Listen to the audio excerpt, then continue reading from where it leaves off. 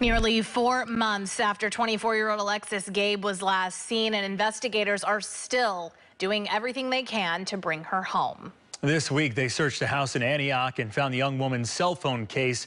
KRON 4's Amanda Hari is live in the newsroom now. After talking with Gabe's parents, Amanda, what are they saying?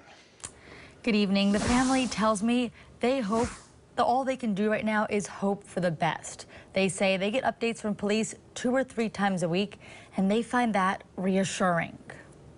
We miss our daughter so much. We want to find her. We want her back. Alexis Gabe's parents, Gwen and Rowena Gabe, say they think about her every second of every day.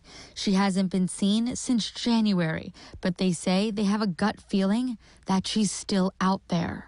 And the feeling, Yeah. you know, that she's still alive. But they say every time a body is found, they worry it could be hers. Uh, we always go to the to our detective and say, "Can- "Can you check, just mm-hmm. in case?"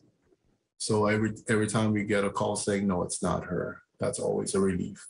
Investigators did find a key piece of evidence this week her cell phone case. Seeing the actual image of it, the picture, it was very very emotional. Investigators suspect the man captured in this video walking away from Alexis's vehicle on Trenton Street in Oakley discarded her cell phone case.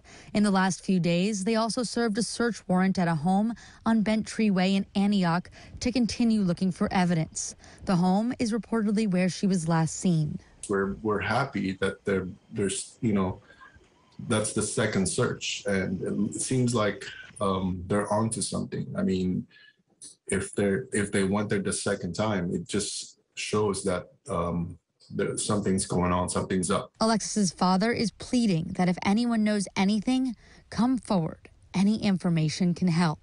There's definitely definitely someone or more than one person that knows something. You know, and we yeah we've been pleading so many times to please have it you know in your heart to give us the information that we need. If you believe you have any information about Alexis, you're asked to reach out to Oakley Police. There's a $10,000 reward for anyone with information leading to her location.